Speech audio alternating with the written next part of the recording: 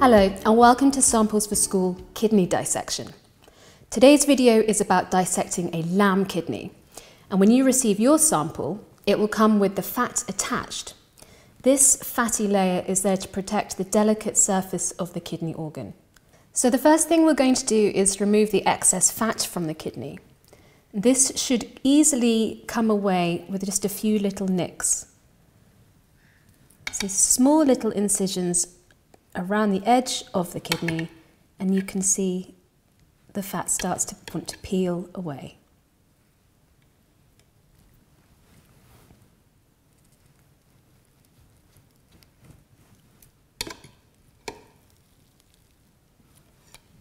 We want to be particularly careful where the kidney joins on this side because there's going to be vessels that we can investigate later.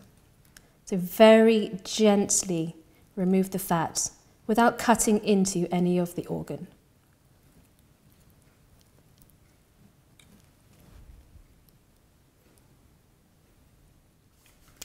So once we've removed the fat, we can see the more familiar bean-shaped kidneys.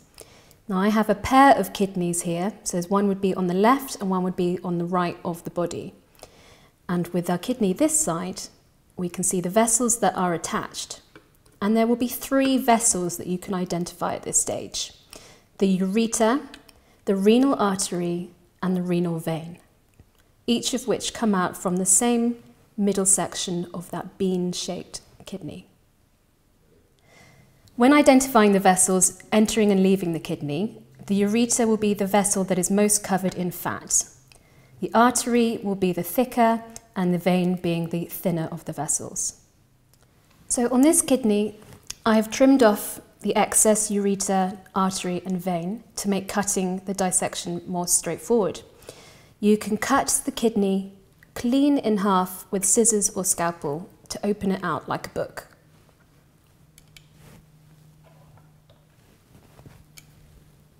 Be careful not to cut into those vessels and you simply snip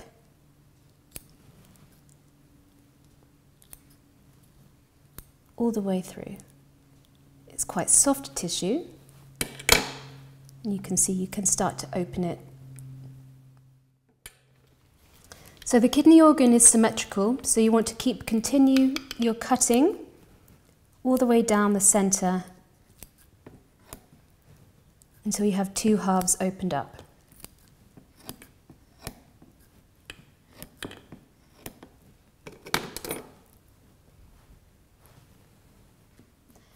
When our kidney is opened up, we can use a seeker to probe inside the areas that we can identify and then discuss the functions that they have. This outer layer of the kidney, which just this darkish brown colour, we refer to as being the cortex. Identified by the blue pin. Moving inwards, each segment that you can see inside the kidney we refer to as being a pyramid. Identified by the pink pin. The darker red colour, and a darker red because it's a higher density of blood vessels, is the medulla.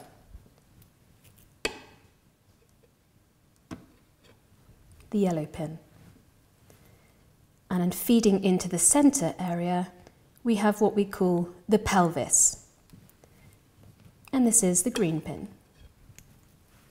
It's the pelvis then that feeds into the ureter that we cut off in earlier in the dissection and transports the excretionary products out of the kidney towards the bladder. So when we are looking at the inner components of the kidney, the pelvis is a hollow structure because it feeds into the ureter. And extending from here are collecting ducts which go into the medulla. And if you prise slightly back the soft tissue of the medulla, you can see the tubules that connect. The collecting ducts reach into the medulla, which are connected to the nephrons. And there are approximately 1 million nephrons per kidney, and they are the functional unit of the kidney. So, the kidney, of which all humans and mammals have a pair of, its function is to remove toxins from the body and regulate water content in the blood. This means that there is a complex process of excretion and reabsorption steps. As well as the kidney's function in osmoregulation, it also plays a part in blood pressure and calcium metabolism. For more information on how you can dissect a kidney and the role it plays in the body, and lesson plans and risk assessments, visit www.samplesforschools.co.uk.